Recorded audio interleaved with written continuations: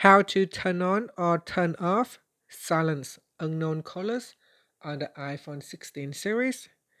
First, let's go back to the home screen by swiping up at the bottom of the screen.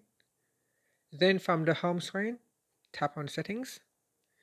Now in the settings page, we then scroll down and then tap on apps.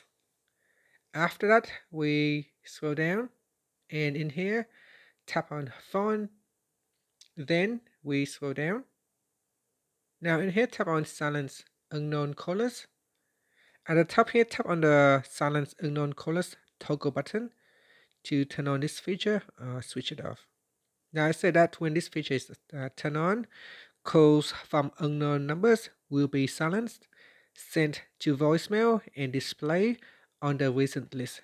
So you cannot uh, block unknown callers, but you can silence it, and it will all the calls uh, will be sent to voicemail. Uh, if you wish, you can listen to your voicemail to see uh, the calls or to hear about the message. If not, you can ignore it. Finally, you can swipe up to go back to the home screen. Thank you for watching this video. Please like and subscribe to my channel for more videos.